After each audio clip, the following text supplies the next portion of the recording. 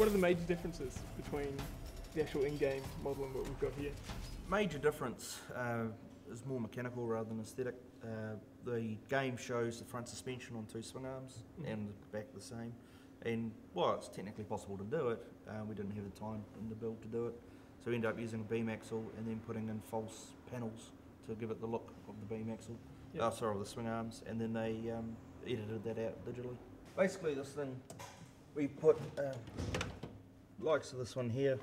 We've basically got a your digital photo frame from the local electronics shop, um, and the Weta guys have gone through and put in little um, SD cards with video and graphics uh, working through, so that will be firing up in a minute and just coming up with various things.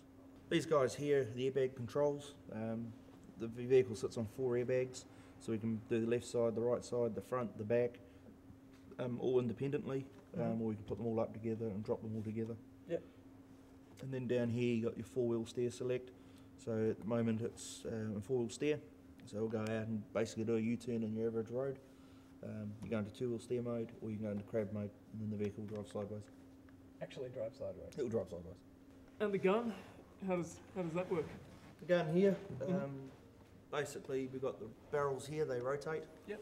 Uh, we've got a brake in the base, and you pull the trigger on that, and the whole lot will slew around. Yep. So if you're agile enough while the vehicle's moving, you can run around and just shoot in 360s. How safe is it actually? Pretty safe. Um, Yeah. We're sitting in the cockpit here. This is all solid steel uh, Mhm. box section. It's all 100 mm RHS down through here. So you could roll this thing quite safely and crawl out of the gap. Yep. Shall we see what it can do? Yeah, sure. Alright. Take it out.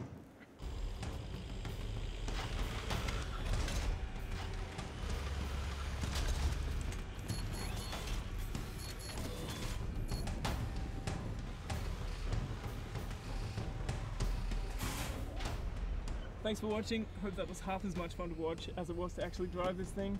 Stay tuned to oxmonline.com for more of this sort of thing, and we'll see you next time.